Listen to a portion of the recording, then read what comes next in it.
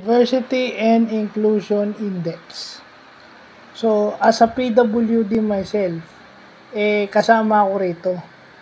Kasi ito yung mga tinitingnan ng mga, isa ito sa key performance indicator ng mga CEO. Sila ba ay nag employ ng PWD? O sila ba ay nag employ ng mga tao for, uh, coming from marginalized sectors like PWD. So, nalalagay natin. Kasi sa batas, at least 1% ng iyong workforce mo dapat PWD. Ang tanong, may sumusunod ba? Although sige, merong merong PWD kayo na kasama as employee pero will that constitute 1%? Baka wala pang 1%. Oh, yun. Kasi may mga PWD din na ayaw. And then, ang formula nun, a ratio of uh, ratio of different uh,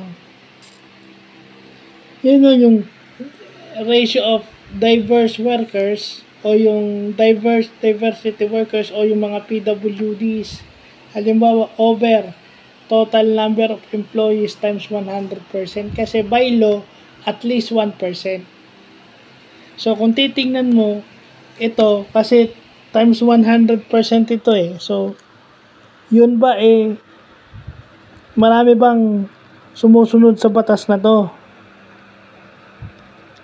So, yun ang tanong, kung may sumusunod ba sa batas na to. Kasi, kasama ako dito. So, ang tanong ko lang, may sumusunod ba? I don't think wala pa sa 1%. Nag-i-employ sila ng PWD, pero hindi wala pa sigurong 1% and on the other side meron din namang mga PWDs na ayaw because of discrimination.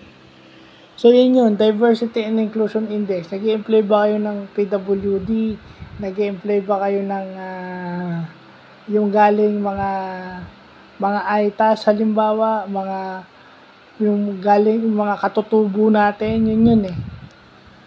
So yun lang po